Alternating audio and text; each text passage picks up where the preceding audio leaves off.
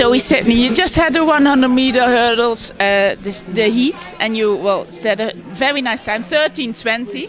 What kind of race was it? It was very windy, so actually you came very close to the hurdle. So I touched I like three hurdles in the middle. But the beginning was good, but on the end it was a little weak. But I think when the wind was more on west, it would be better.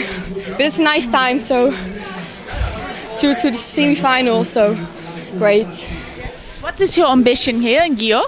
Um, I want to get into the finals, and when I'm in the finals, I think like a PB or medal would be nice.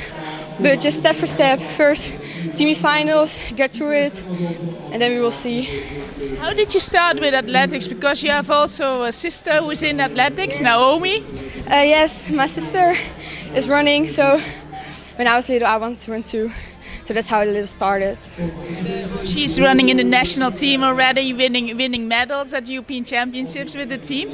Did that inspire you? Yeah, of course. Uh, when I was there in Amsterdam, when I won the 4 uh, 4 by 100, it's really nice to see how enthusiastic everybody is and that they won. And I want to be there later too. How much experience do you have with championships? Last year I was here too for the EYOF. Um, actually, that was it. This is my second international tournament. How did you do last year? Well, uh, two times gold, hurdles and 200. So you have good memories and good. Yes, sure. what do you think? What is what what uh, is in your mind if you if you think back of last year?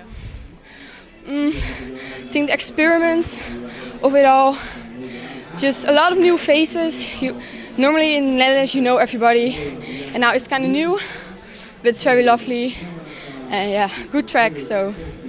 You talk like a very experienced athlete already. Um, Are you still nervous when you have to start the race in the heat or? Yes, I think I'm the most nervous person on earth. So yes, I'm a lot nervous. But yeah, you don't have to show it always. If you are nervous, can people talk to you, or you be quiet, or how how does it show?